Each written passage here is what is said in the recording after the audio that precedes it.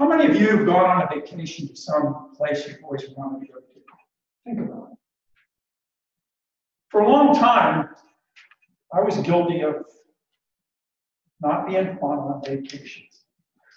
So I made a conscious effort with my wife, an obligation that I would try and be joyful on every vacation I went on. We have a sort of a tradition in our family. One, one Thanksgiving we spent, we rode a motorcycle to Fairbanks, Alaska. One, one- Thanksgiving we were in uh, Beijing. Our dinner was Papa John's Pizza. But two years ago, this month, we went to Australia.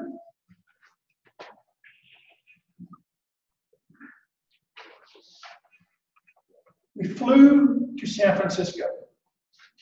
563 of us boarded an Airbus A 380 for the 14 hour and 55 minute fl- flight to Sydney.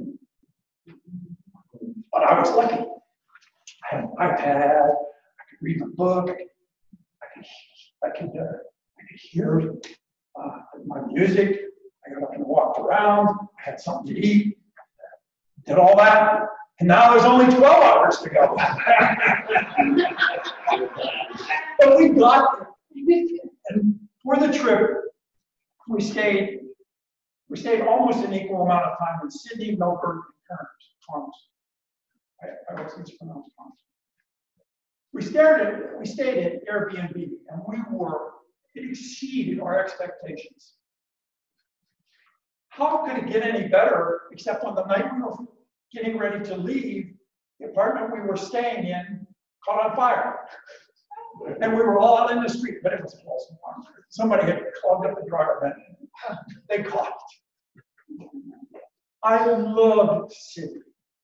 I loved the place we stayed. It was a kind of artistic place. The person that had it, there was a baby grand piano in the bus. There was this theatrical posters on the wall. It was colorful. In Melbourne, we stayed in a, a place near downtown, so everything was in walking distance. Everything about those two things, those two cities, was phenomenal. But I was a scuba instructor for 25 years, and I always wanted to die dive the Great Barrier Reef. We stayed in Cairns, and we stayed in a terrible B and B. It's like if you looked out the window, 25 feet from our room was a swimming pool, and 150 feet from our room was the ocean.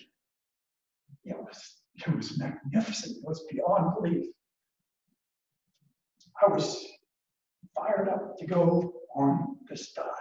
I got up early in the morning, I'm walking the docks, waiting for the people to start loading the ship. I had great expectations. I even laminated a cover of the Toastmasters magazine that I was going to take under water and have somebody photograph me. This vacation was so great. It fulfilled everything I ever wanted. And then I did the dive.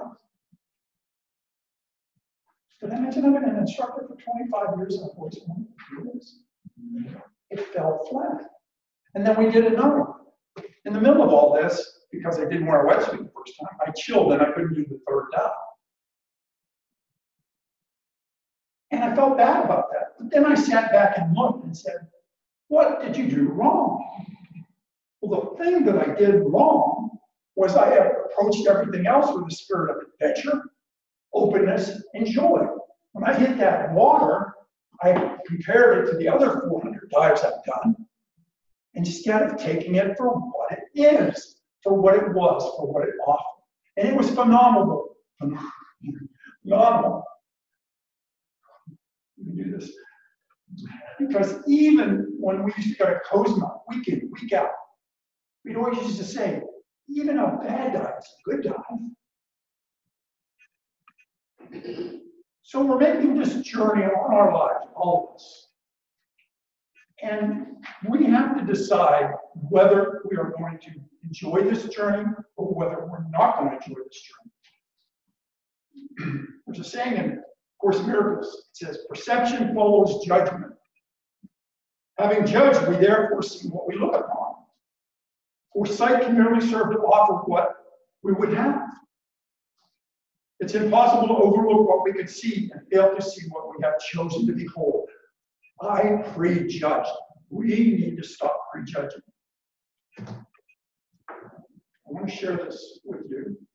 It's from, it's from I'm not going to share rituals. This is from Eileen Caddy.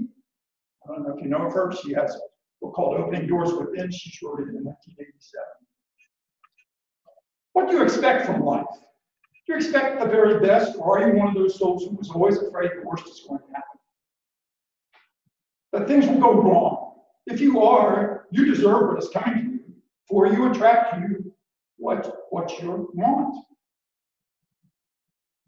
That which you love, that which you have, and that which you fear. When your consciousness is negative, you draw negativity towards you like steel to a magnet, and you will find yourself keeping company with those souls of like mind, for like attracts like.